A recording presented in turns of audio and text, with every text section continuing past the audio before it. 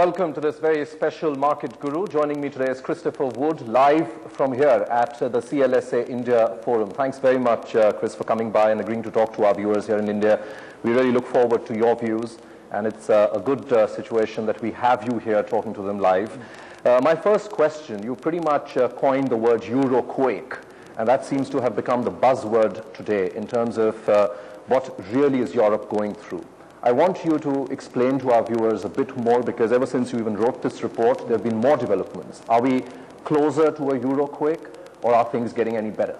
Well, basically, the reason I use the word Euroquake is because the European zone, Eurozone uh, area, suffers from the financial equivalent of a geological fault line, and that is the system where they have monetary union without fiscal union.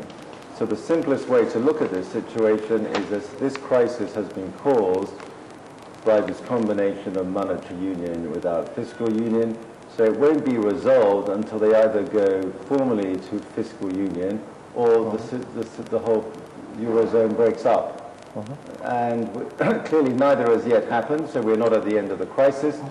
My base case is that the climax will end, the crisis will end with a more full-scale move to fiscal union, which will mean, you know, a Europe setting up of a European fiscal authority treasury with the power to raise taxes, issue joint and several Eurobonds.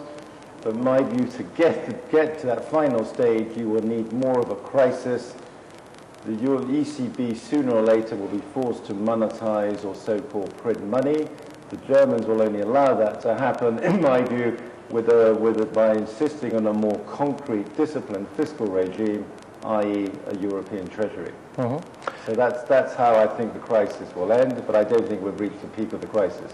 You did mention uh, in your report that uh, the Euroquake might sound alarmist, uh, but given the developments of what we've seen, and you've also mentioned about Germany, that its ability, while it might necessarily have to come in and do exactly what you mentioned, but its ability to do that is not as comfortable as perhaps it was.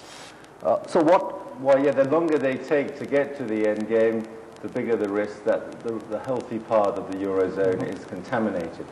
So basically, the way to look at this is, again, the disease. The, the cause of the disease is monetary union without fiscal union. The disease began in the periphery, but the disease is spreading from the periphery to the core. The longer they take to fix the disease, the bigger the risk it contaminates the rest of the body. So I'm telling investors the key uh, spread to have on their screens mm -hmm. is French bond yields over German bond yields, not the Italians, because the German-French partnership is the core of the Eurozone. That French bond spread rose quite alarmingly last week, and the more that spread widens, the bigger, the nearer we are to the end game, and the quicker they need to move to fiscal union. The reason why the French bond spread is also important is because the Germans' preferred approach is an incremental, incremental move to fiscal union via this halfway house called the EFSF. However, the EFSF is fast becoming unviable because the second biggest contributor to the EFSF is France.